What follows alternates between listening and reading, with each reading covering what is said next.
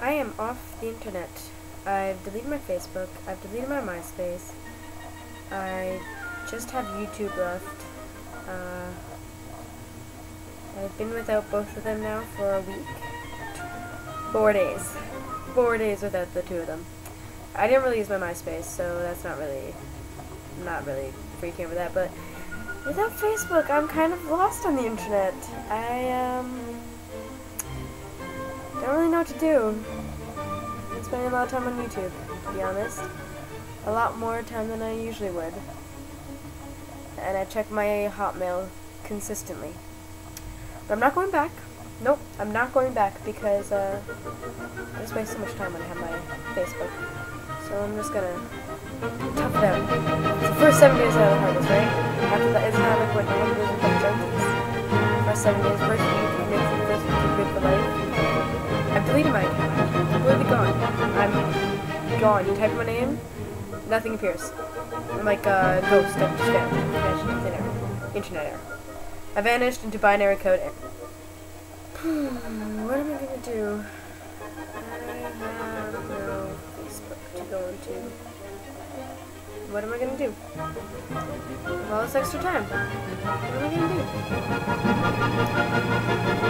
gonna do? Play dress up, which I just did. Um, whoever has been in my room for the past month, in the past month, knows that I am stealing my mannequin's outfit. And this is her wig, and this is her hat. They both are mine, but she kind of intimidated me into giving them to her. That's what it comes down to when I don't have Facebook to entertain me. I dress up like a mannequin.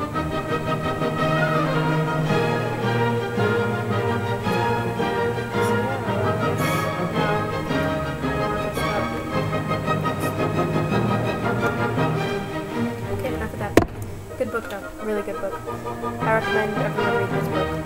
I am an avid fan of. So I owe Eddie and Aaron five dollars because we made this bet that I was going to die on January 11th, and uh, I did everything in my power to win that bet that I was going to die because I really didn't want to owe them five dollars.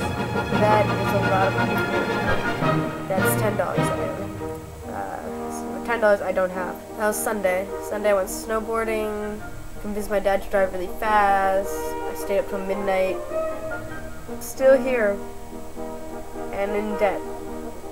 Massive debt. Ten dollars. I don't know if it was worth it. I don't know. I was trying to console a friend. I asked April if I was gonna die in a year. And that was last January 11th.